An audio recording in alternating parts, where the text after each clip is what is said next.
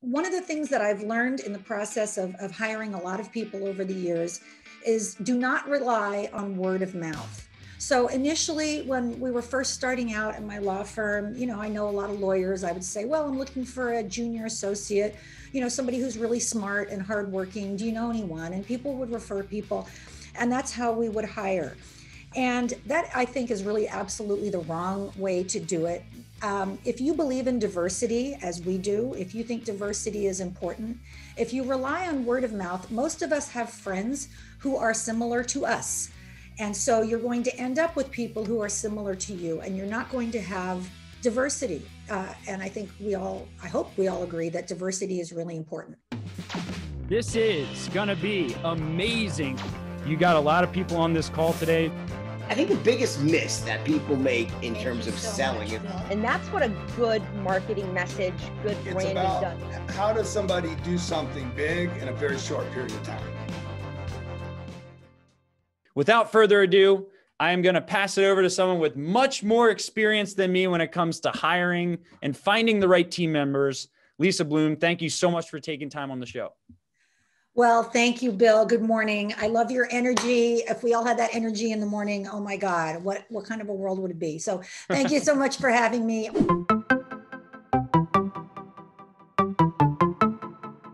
The thing about hiring is you really have to think deeply about who you are and what your law firm is, what your business is, who you are now, and where you want to go in the future.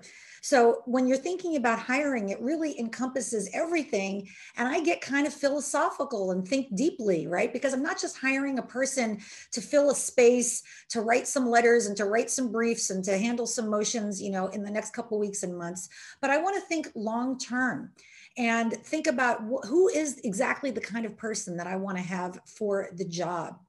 Um, one of the things that I've learned in the process of, of hiring a lot of people over the years is do not rely on word of mouth. So initially, when we were first starting out in my law firm, you know, I know a lot of lawyers. I would say, well, I'm looking for a junior associate, you know, somebody who's really smart and hardworking. Do you know anyone? And people would refer people. And that's how we would hire. And that I think is really absolutely the wrong way to do it. Um, if you believe in diversity, as we do, if you think diversity is important, if you rely on word of mouth, most of us have friends who are similar to us. And so you're going to end up with people who are similar to you, and you're not going to have diversity. Uh, and I think we all, I hope we all agree that diversity is really important. So we don't rely on word of mouth anymore. We put out ads on Indeed and Craigslist and other sites uh, where lawyers are looking for jobs. And we try to cast a very, very wide net.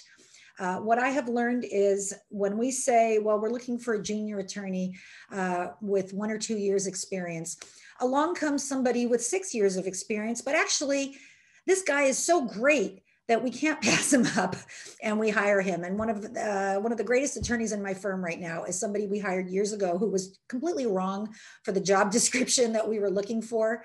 But we liked him so much we thought we want to we want to try this guy out. And he's been with the firm i think now for seven years and, and we love him. So cast a wide net keep an open mind and when great talent comes along i say swoop them up because you may not have that opportunity again. And uh, you know you'll find a place for somebody with with great talent.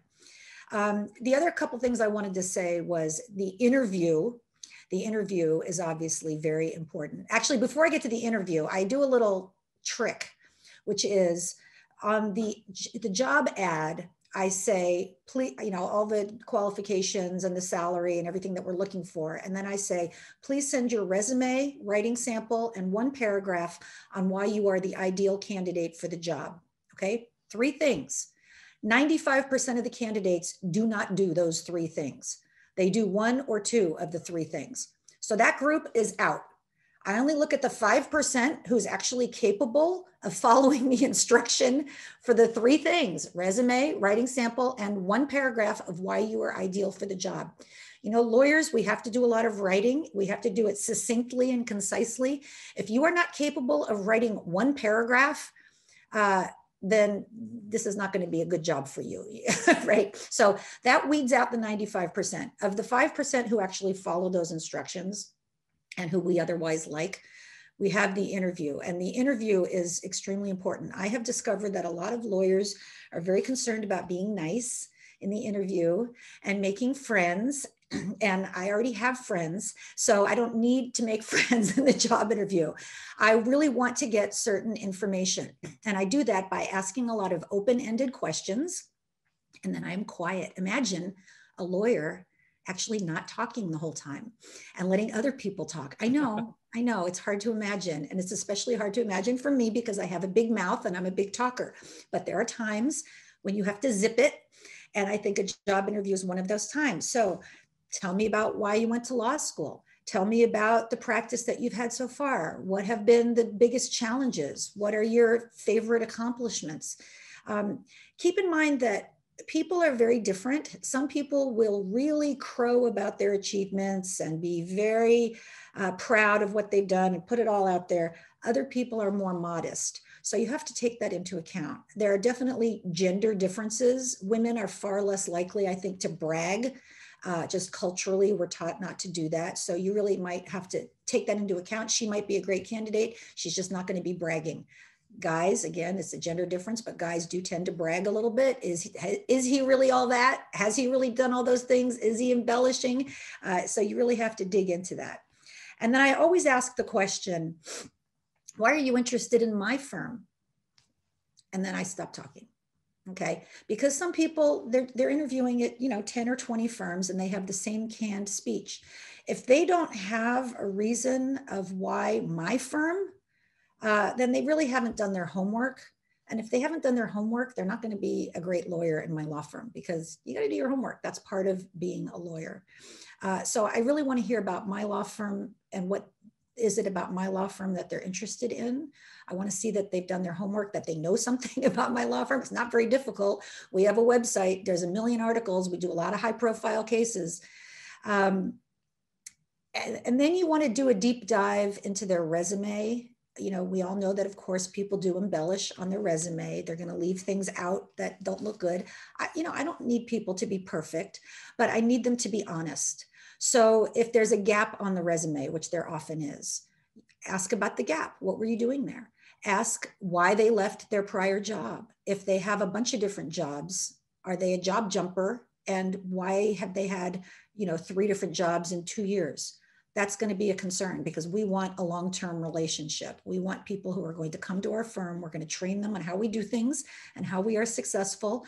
And if they're going to leave us after a year because they just like to flit around a bunch of different jobs, uh, that's going to be a problem. Obviously, anybody can quit anytime they want, uh, but that's not what we're looking for. So we put out there that we want a long term relationship. I try to look them in the eye over the Zoom uh, during the pandemic. Of course, that's how we've done it, and really get their answer about that.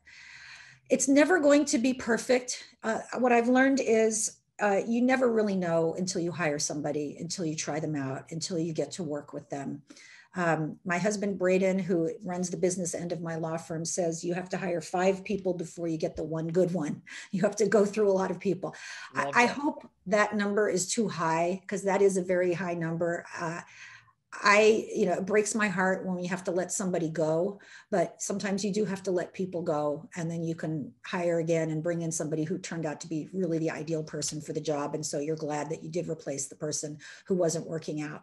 Uh, I guess the last thing I would say before questions is that, you know, not every person is the right fit for every job. I guess that's kind of obvious. But if you have a big heart and you care about people and you meet people and they seem nice and you want to give them a job, you know, you really have to think in um, very a very practical business like way about that job and is this person the right person for the job at our law firm, I can never give somebody a job out of charity. I've learned that the hard way. There was somebody years ago who we felt very sorry for.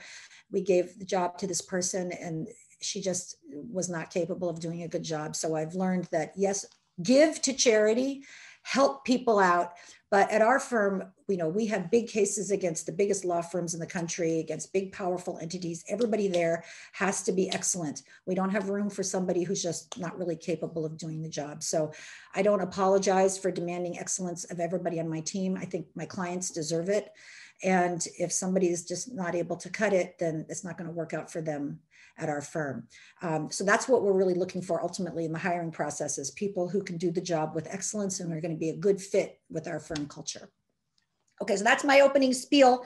What do you got for me? Yeah, tons, tons of questions. So let's Okay. let's do it popcorn style because um, you have, you have a lot of wisdom when it comes to this. How many employees do you have right now, by the way, just so everyone has context? I think we have, I want to say 22. Okay. Yeah. So so yeah. So we have 21 right now. So so we're we're kind of we're in a similar uh you know place right now when it comes to the size of the team. So so it's it's good to know that from a place of context because a lot of our listeners have less than 20, you know, even less than five, right? Sure. Um, so I'll give you some some some rapid questions here, um, and you you have way more experience than me at this. So um, I, I want to I want to ask you first. Um, should you hire someone before you're ready for them, or after you're ready? Uh, that's a great question.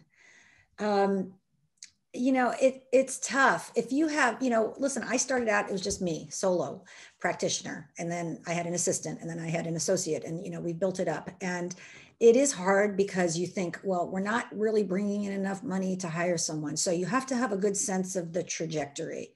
If your firm is doing well financially, I would say hire before you are ready. And get that person, you know, it takes time to train people, uh, it, get them up to speed. So I would say before you're ready, but not a lot before, maybe just a little bit before. And Okay. I, I don't necessarily always follow that advice, I will admit. So okay, good. I'm just gonna keep rolling if that's okay with you. Yeah, yeah. Right. So so hire someone before you're ready if you have the finances for it. I would completely agree with that. Um, because the job description is most rapidly created when you hire someone, you're like, oh crap, how do I manage them? How do I tell them what to do? So that level of urgency makes a job description spill out a lot faster. So um, let me ask you the next question, which is uh, potential versus skill. So existing skills versus potential. If you could Mhm. only choose one, which would you choose? I, I would choose existing skills because, I, you know, I, I'm not a law professor. I'm a practicing lawyer. I need people who can jump into the mix right now. So you need to have certain basic skills, you know, good writing, good speaking, advocacy, ability to research. You don't have to know everything, but you do have to have uh, the basic skills.